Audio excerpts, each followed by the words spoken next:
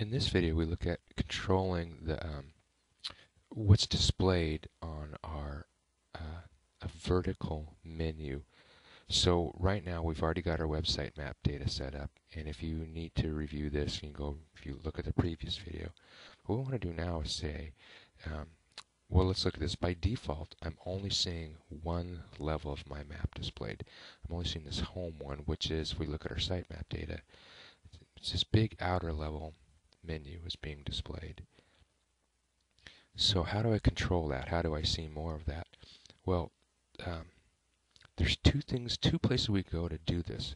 First of all, for our, again, we'll look at horizontal menus later, but for a vertical menu, one of the things we can do here is on the menu properties, come here and find the static level display. We can set this to 2 and when we do that, you notice all our guys that are child children of our top one, they're displayed, the second level ones. We can also come here and change this to 3. That static level display.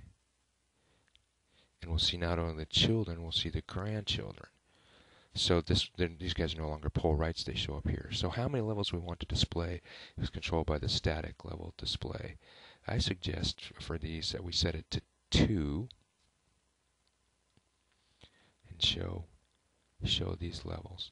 The other thing we can do is if you don't want to show this home one, which sometimes you don't because you notice all these guys are indented underneath them. We want everything to be at the same level we could make home in our sitemap, we could make that point to nothing. You here's I'm just actually do this down here. I'm going to come down here and make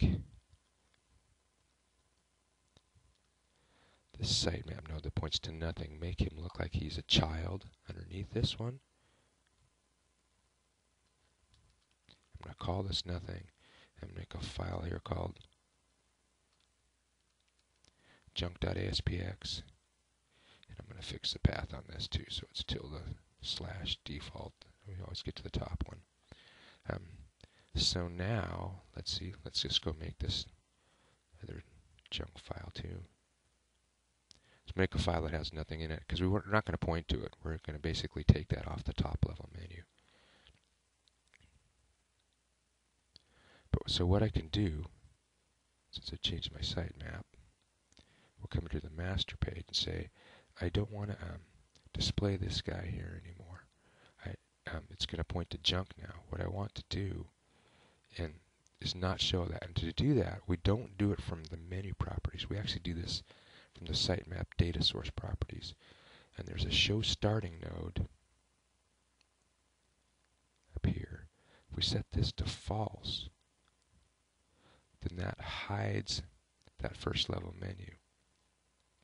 You notice it also, at the same time, since we have this show static menu set to 2, we'll want to go back and change that to 1.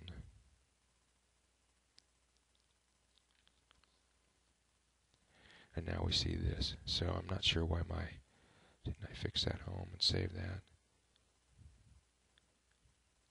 I'm not quite sure why that's not showing up, although sometimes it doesn't show up till we actually run it. So let's actually run this. You can just see what's happening here.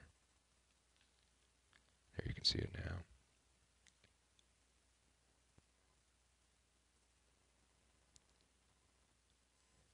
So we see home, internet, database, multimedia, and then we have the different pull rights out here.